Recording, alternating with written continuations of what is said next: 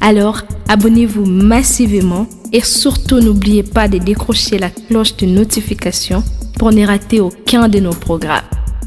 RK Pro TV.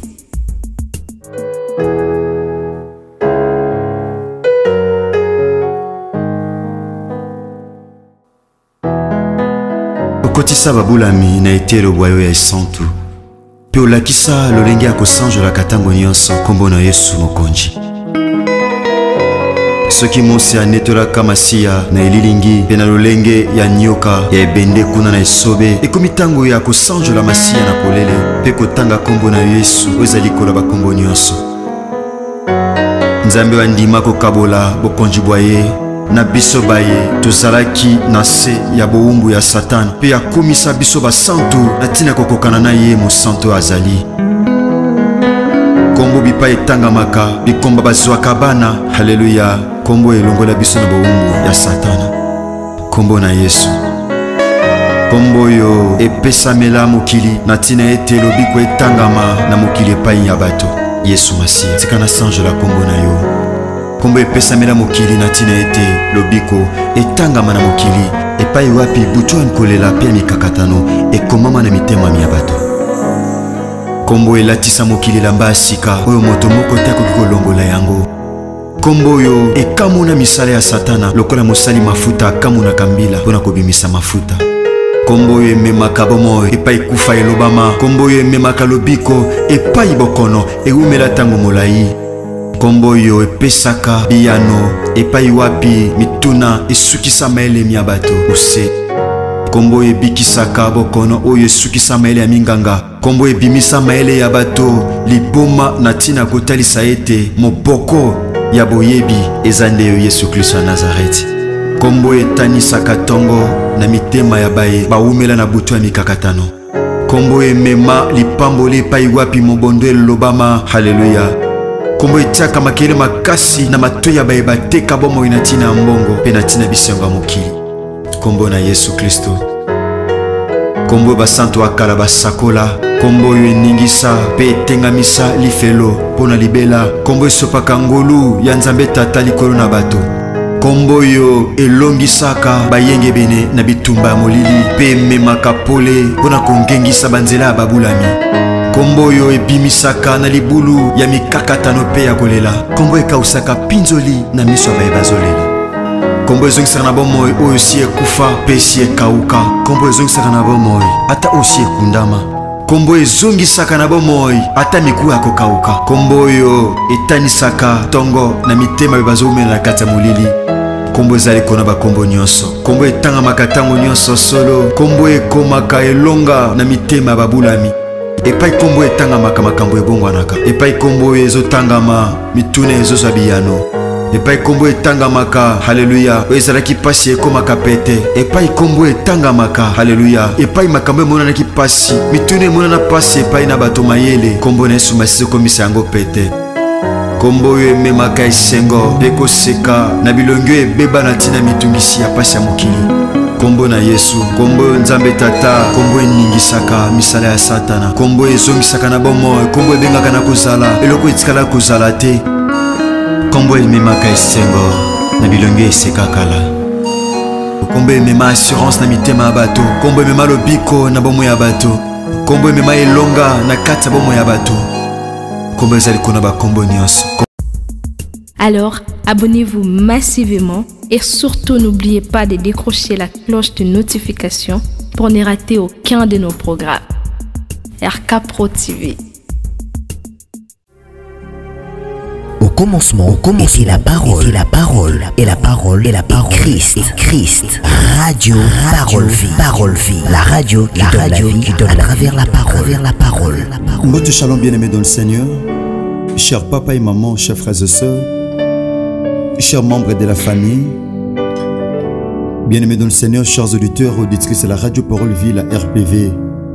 la radio chrétienne oyo eteyaka biso sango malamu ya kolo na biso yesu masiya ya nazareth nzambe ya solo mpe ya bomoi bien-aimé radio parole vie c'est une radio oyo elamusaka biso butu to mpe ntongo nyonso mpo na koluka elongi ya nzambe la bible adi na mokanda na mark chapitre 1er ke krist ntongotongo banda deja kolamuka mpo na koluka kobondela nzambe na ngomba bien aimé merci na décision oyo ozwa ya kosambela na biso na radio parole vie butu to mpe ntongo nyonso tika kolo yesu masiya ya nazareti oyo afutaka bato oyo balukaka elongi na ye afuta bino la bible dit notre dieu yesu masiya ya nazareti aza mofuti ya bato balukaka elongi na ye kolo akanisa bino merci bandeko oyo bozosala biso confiance na radio parole vie bien aimé bozosunga biso na batoli na bino na baorientation na bino paster bosala boye bozongisa boye kosala bien bozongisa boye yaya oyo eza mpe kokokana na liloba na nzambe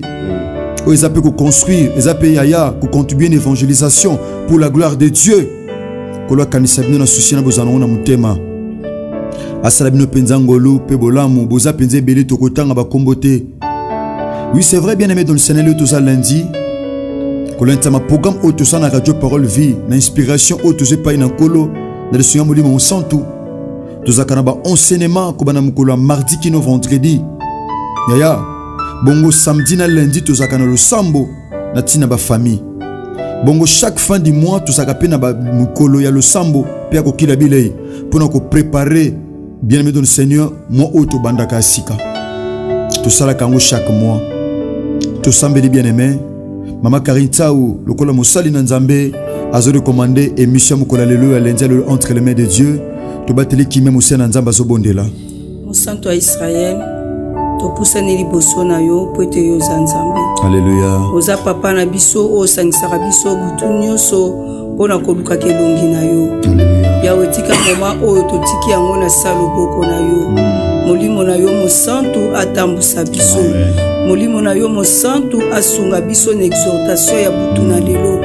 yawe tika tosangani mpo toluka yo tikomimonisama yawe olobi ete bato balukaka yo yesu yo mimonisamaka kati na bango yawe moko na moko akoya na mikumba na ye epai na yo tika o résoudre problème mpe opesa solution yawe totelemeli nyonso eza ya yo te na nkombo ya yesu kristo ya nazareth tika bonzambe na yo erenie mpe emonisama na bavi na biso na losambo tokosala na nkombo ya yesu kristo ya nazareth oyo azali mokonzi mpe mobikisi na biso nde tosambeli na kondima mpe tolobi victoire à toi seigneur jésus-christ de nazareth victoire à toi seigneur jésus-christ de nazareth amen, amen. acclamons le seigneur merci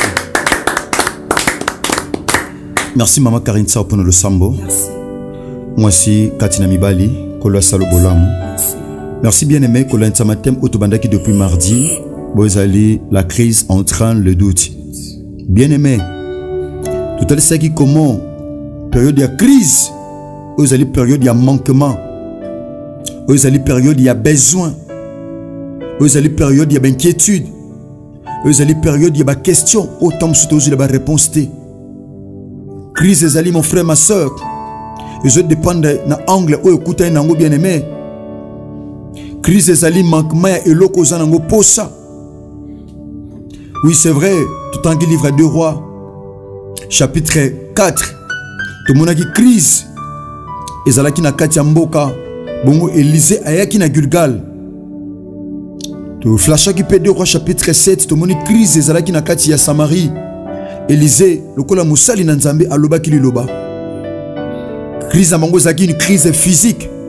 Mon frère, ma soeur, nebite na vie na yo ozo traverse na crise nini kozanga libala eza mpe crise kozanga mosala eza mpe crise kozanga kimia eza mpe crise kozanga réussite eza mpe crise kozanga bana eza mpe crise yaya kozanga kimia na kati ya famille bana mobulu makambo ezosimba te eza mpe crise me yeba mon frère ma sœur pendant okotala kaka crise okotala te misala krist arealisa na croix ekoki mpe komemela oduti to mpe ntembe ndenge officier atyaki ntembe na maloba mosai na nzambe atali nzala atali mpasi atali mabele ezobota te atali mabele ezobota te atali mpasi na kati ya mboka hmm.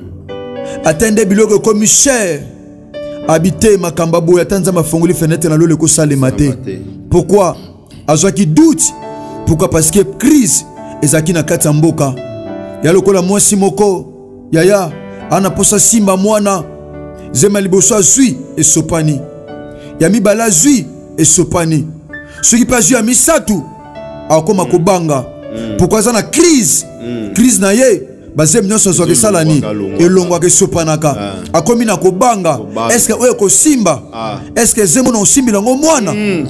eske ezemo na osimbila yango mwana yes. elokola motu moko mosala nyonso azwaka ekufaka kaka, kaka. eske mm. oyo nazwi ya mbala oyo mm.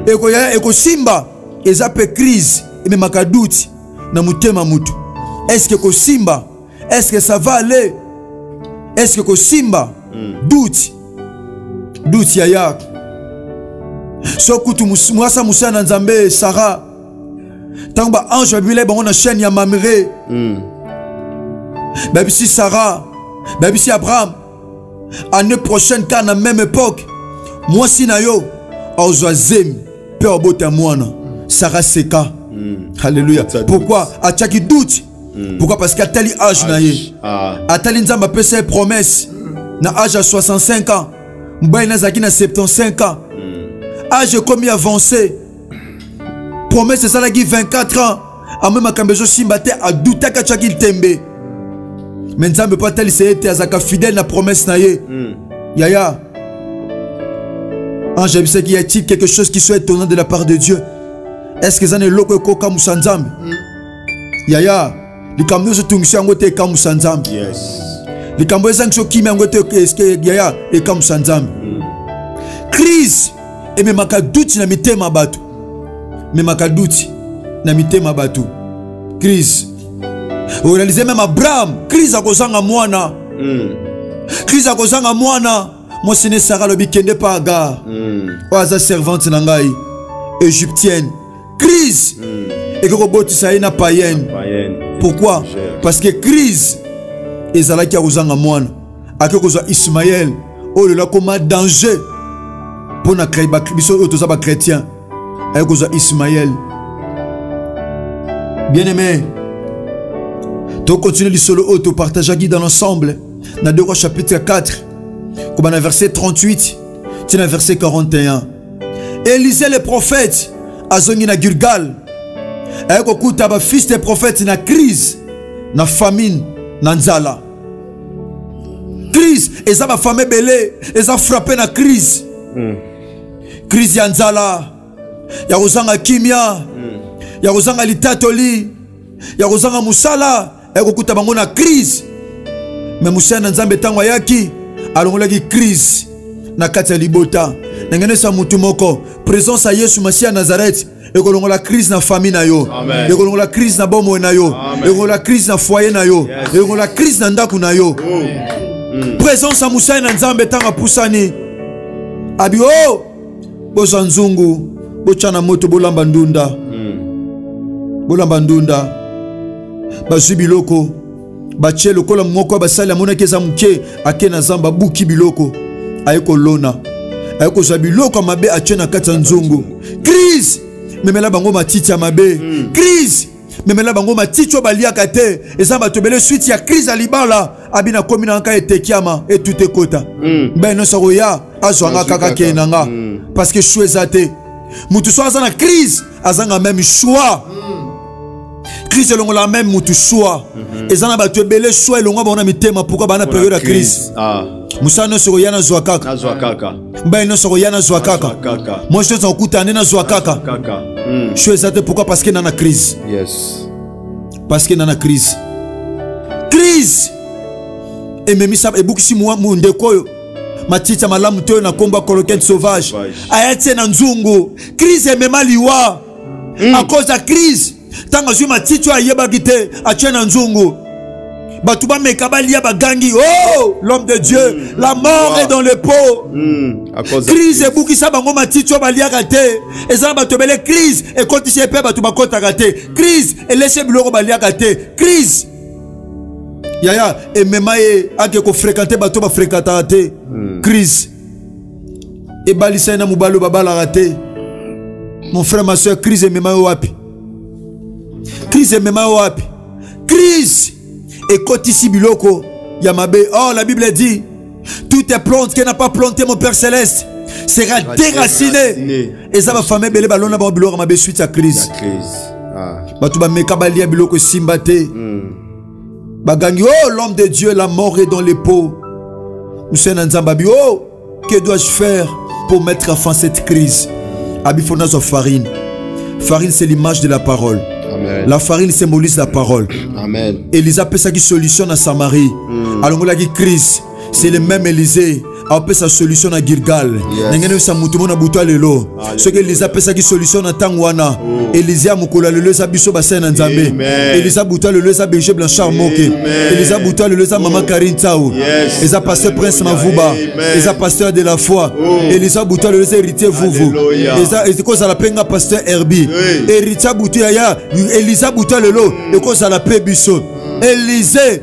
ayi bopesa nga farine bape farine c'est la parole yes. elisa alongolaki crise na nzela liloba il avait prophétisé ah, ah, ah, ah. il avait parlé yes. la bible dit ceci na pasi na bango balalaki epai na nzambe ah, atindaki mbongo te atindaki bilia te ah. natindaki liloba tika liloba butu to mpe atongo lelo elongola crise na vie ya motu moko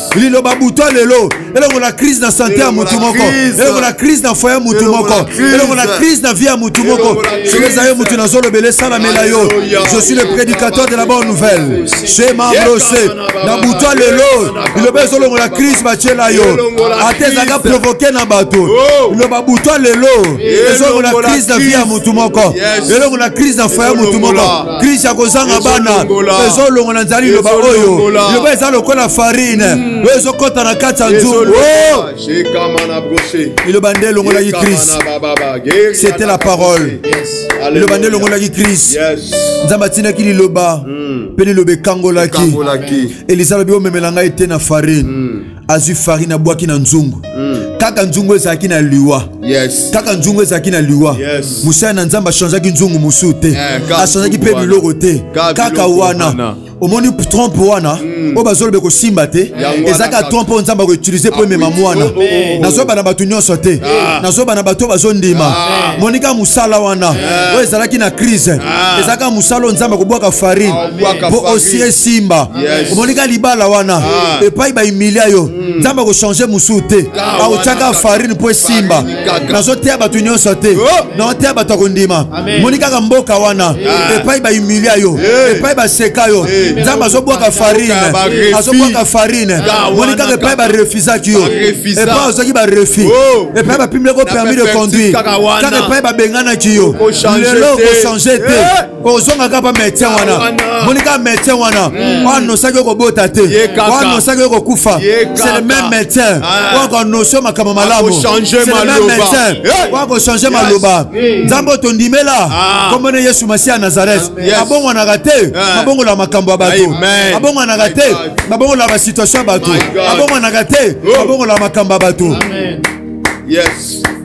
abopesa nga farine loya bapesa nga farine baye na farine bapesi mosala na nzambe yes. mosala na nzambe azwi farine atyo na nzongo il avait déclaré mm. il avait déclaré mm. abi na kati ya farine oyo na kati ya nzongo nde natye farine mm. mabe kozala lisusu te ayebisi basali na nzambe boservi bato balia ah. biloko bato baliaki te eh, me ntango farine ekotaki na kati oh. bato baliaki je lave ma main naotya nasa mafuta ya yesu masiya nazareth sur l'onction de mon père jean paul mayata pasteur de la foi naotya farine na maternité mwasi moko oyo aza na difficulté bana soki eza yo mwasi oyo naote eza yo esalamela yo naotya farine na maternité na yo tolo wana nzambe apesa yo eza echantillon te eza mpe melisa bana naotya farine na bademarche ya voyage ya motu moko mpo esimba naotya farine na vie ya motu moko naotya farine na stelite ya famille na bino mpo ekoma libala mpo ekoma bana naseli bafamille na bino ngai naotya farine epai barefusa yo oh. epai otika badossier esimba te mm. naotya farine au oh, nom puissant de jésus les hommes de dieu naotanga bible na bi est ce que elise nzambe asalaki mpo alongola crise na vie ya bato hmm. elise aya na jericho hmm. elise aya na jericho bafanda ya mboka babi na ye l'homme de dieu hmm. mboka eza malamu malamu me toa na crise awa mabele botaa te mai eza bololo bayebisi ye toa na crise toa na crise l'homme de dieu alobi nini bomemela nga plateau ya sika oyo no basalela te yes. plateau sika moko aza na plateau sika ya nango hmm. oyo oh, nono basalela te oyo oh, no batusha te bozwa yango boyela nga ezala pamba te bwana mungwa hmm. bwana mungwa hmm. baye na plateau baye na mungwa élysée akendaki na source il avait déclaré abi ainsi naza ko assainir mai crise elongwa soki na jeriko bato bamela mai ya bololo hmm. bato bamela so mai ya bololo te soki mabelo ebotaka te ah. nde naobwaka mungwa ah, ah, elisa aza moto ya formule te kuna atyaki fari na po awa asengi mungwa ese eh. nte pa une doctrine ezalaki oyo molio mosusu tobandaki kotya na motema eh. na ye hmm. eza doctrine te ke mpo nzambe asala foka ya mungwa eh. te elise mpe achangeaki kuna asalaki farine kuna asalaki liloba kaka pamba eh. mpo hmm. bilolo ekɔta na samarie asali ya tomona baforme ezochange a nzambe ya formule moko te oyo mpo nzambe asala foka mungu ezala oyo mpo nzambe asala foka mungu ezala oyo mpo nzambe asala foka kitendi moko ezala oyo fo bouge ezala oyo fo singa moko ezala te elisa alobi ainsi j'assaini ses eaux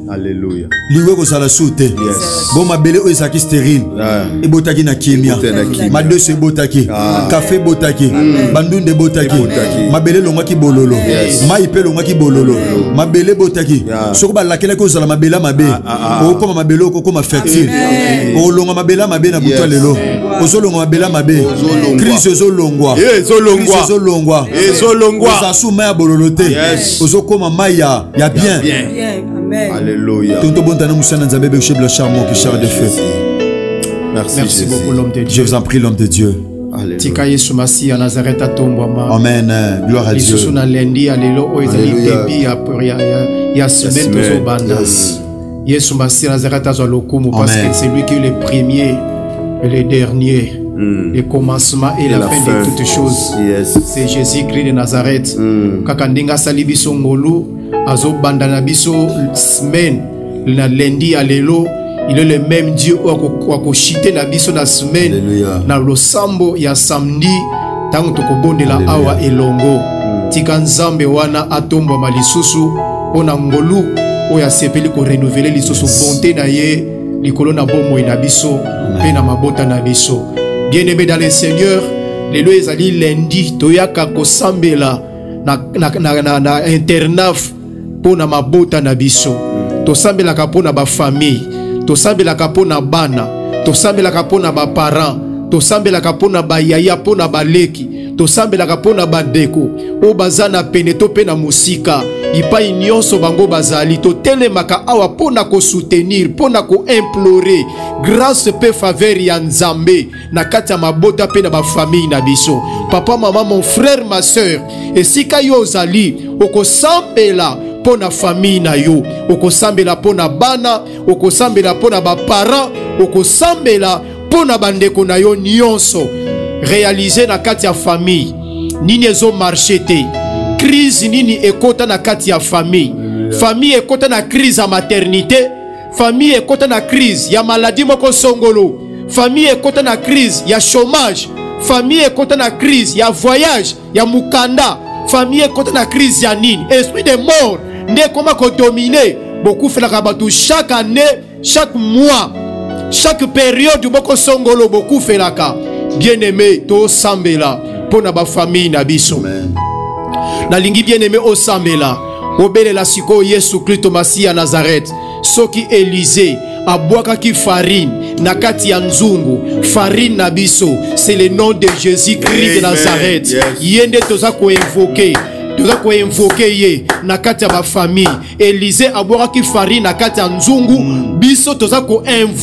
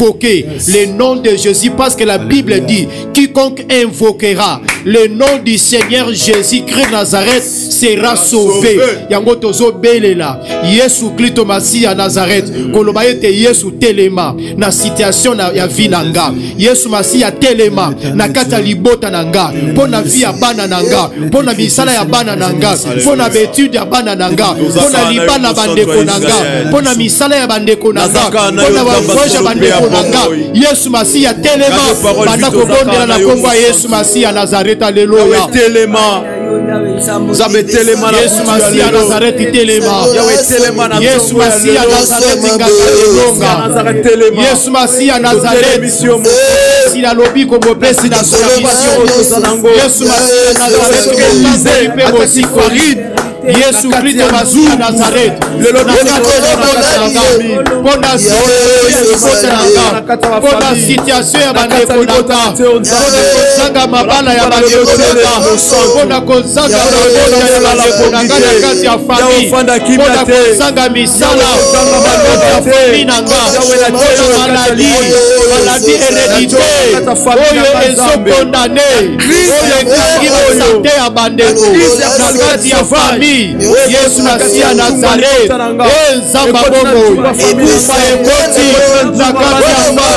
ebaladi ekosi na kati ya famillefidelité ekosi na kati ya famille telemontage ekoti na kati ya famille maladie héréditaire celiba prolongé fidelité chômage condamnation humiliation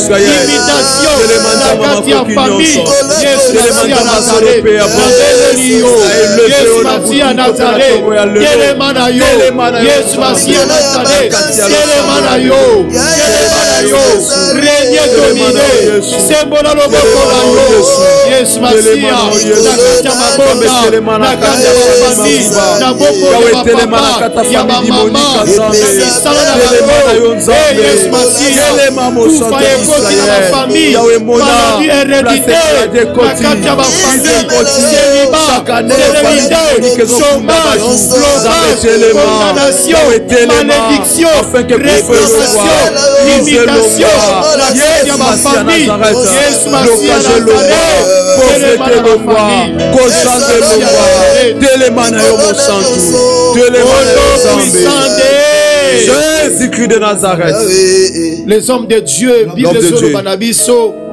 Ne vous inquiétez de rien, Alléluia. mais en toutes choses, yes. Oh. faites connaître, connaître vos, vos besoins, besoins à Dieu, oh. des prières, des mm. supplications mm. et, et, des, des actions, actions de, de grâce. Yes. Bien-aimé, au sala losambo, mm. ozoyebisa Yesu Kristo Masiya ya Nazareth, na lundi ya lelo, par rapport ya situation, mm. ya famille na yo, soki eza ya bana, soki eza ya mobali to mpe ya mwasi na yo soki eza ya bapara na yo ya bandeko na yo mm. na kati ya famille ozoyebisa yesu masiya nazareth mm. banda kokangola bana na ngai banda kokangola libota na nga famille na nga na kati na situation oyo bazangi mabala yesu masiya kangola bango na sterilité kangola bango na celiba kangola bango na chômage kangola bango na échec kangola bango na humiliation kangola bango na blocage kangola bango na barefi kangola bango na balimitation kangola libota famille bandeko na nga na situation oyo tobondeli na nkombo ya yesu masiya nazaretozali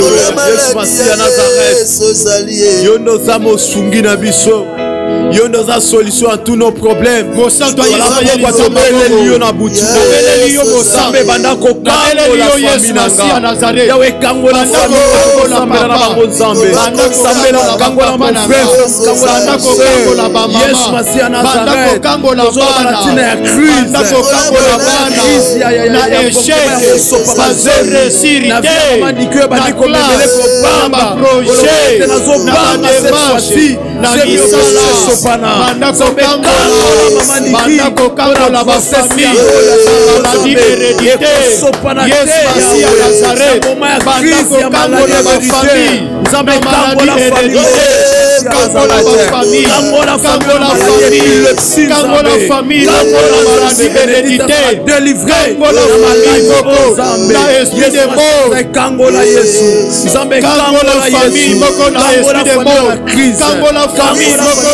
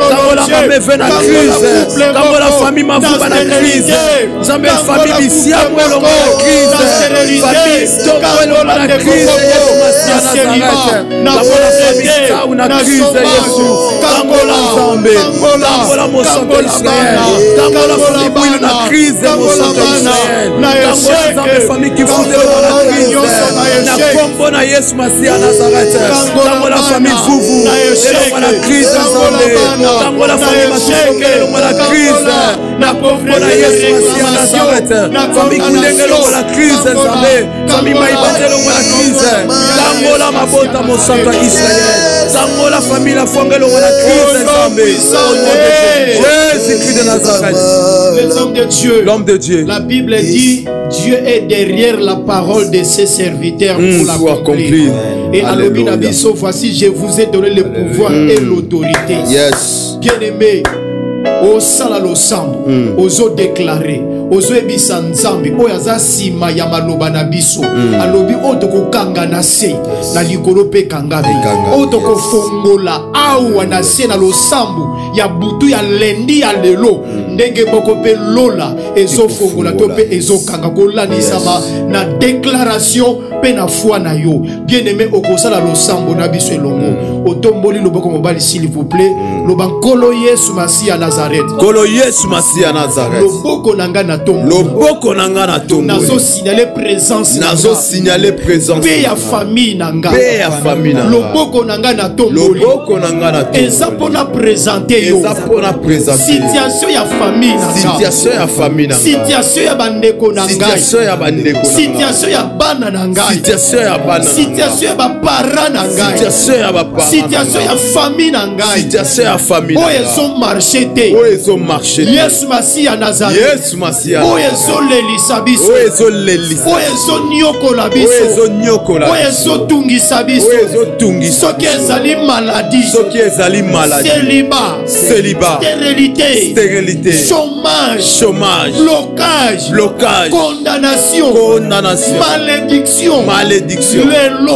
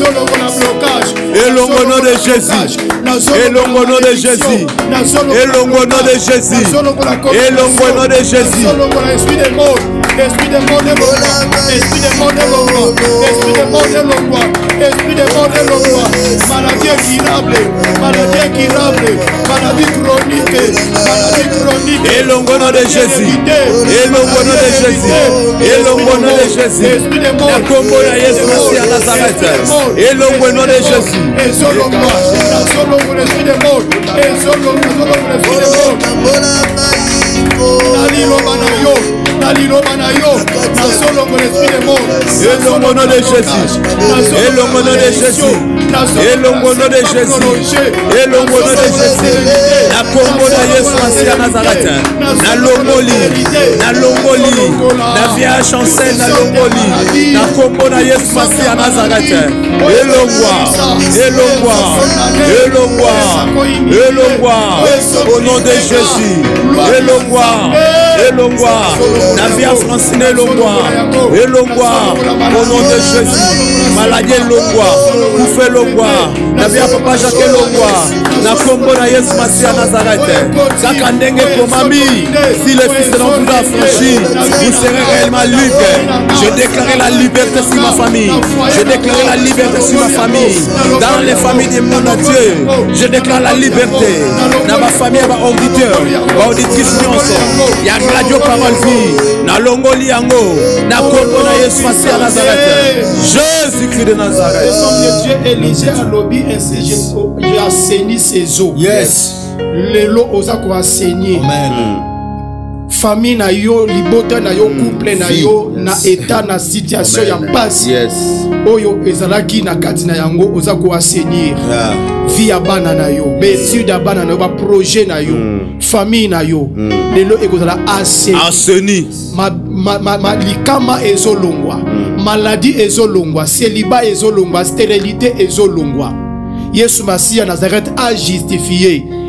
vie na yo mpe famille na yo mobimba otomboli loboko mobali s'il vous plaît loba nkolo yesu masi ya nazareth nkolo yesu masi ya nazareth kolandisama na liloba na yo kolandisama na liloba na yo losambo ya lendi ya na losambo ya lendi ya loboko na tomboli loboko na na deklare na deklare nkolo yesu masi ya nazareth nkolo yesu masi ya nazareth banda ko justifier banda ko justifier famille na nga famille na nga justifier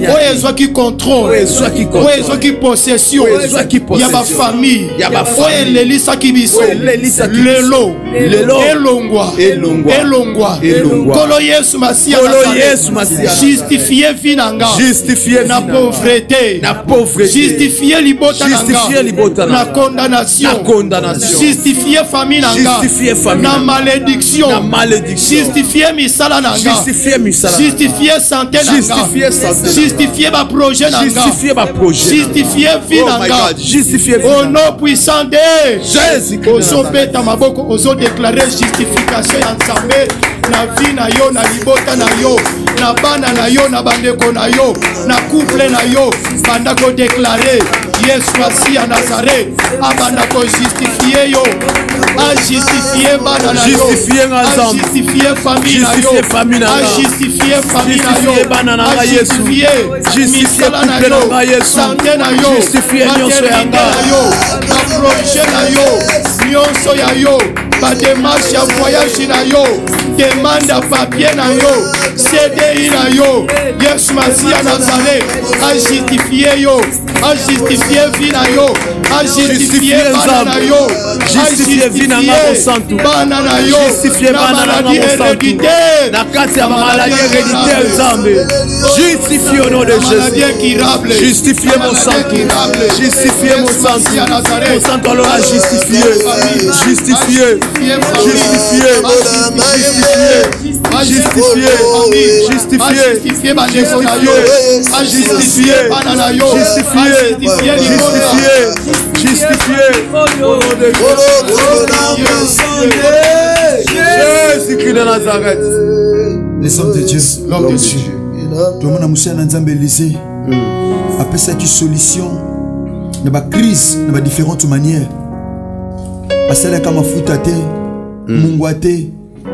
nzete te nzete te farini te ka farini te hmm. manto mpe kaka te manto mpe kaka te hmm. asala mpe liloba yes hmm. ya tombolaka lobo ya mobali mpe azami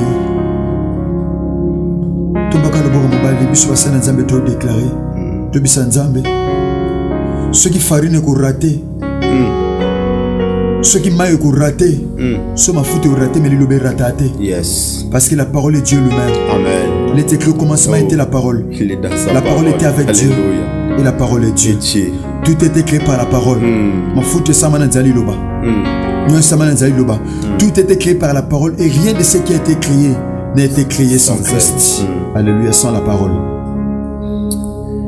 kolo totomboli maboko lokola basali na yo crise nyonso efrapaki bafamille bana kolongwa maintenant ndenge lisa asakolaki lobi biloko ekota biso tosakola lokola basali na yo kolo ti kokotisa kimia na famille oyo crise elongwa soki crise ebukisa bato matiti oyo bayebaki te maki liwa na kati ya nzungu kolo elisa bwaki farine mpe bomo ekotaki tika bomo ekota na famille moko moko bazobonda na biso tata hmm. na libota moko na moko tata bomo ekota hmm. au nom de jésus christ de nazareth moïse azoyebisa bana ya israel bobanga te parce que baegyptien bomona lelo bomona baolisusu te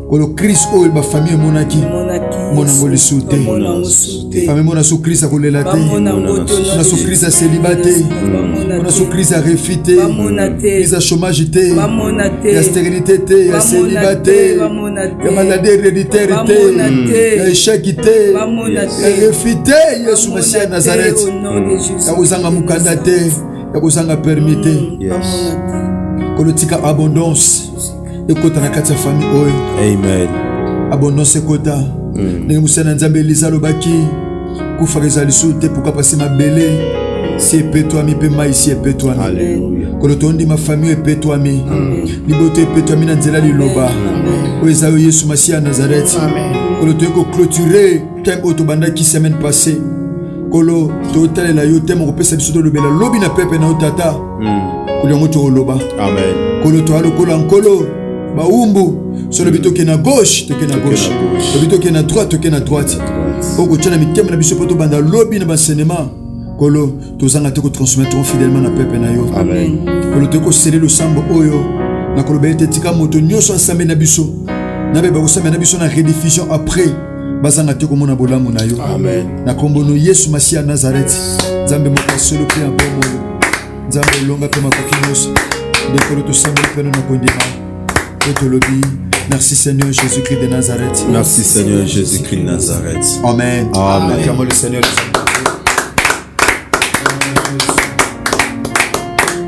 Merci Bassana Nzambe pour le sambo Belge Blanchard.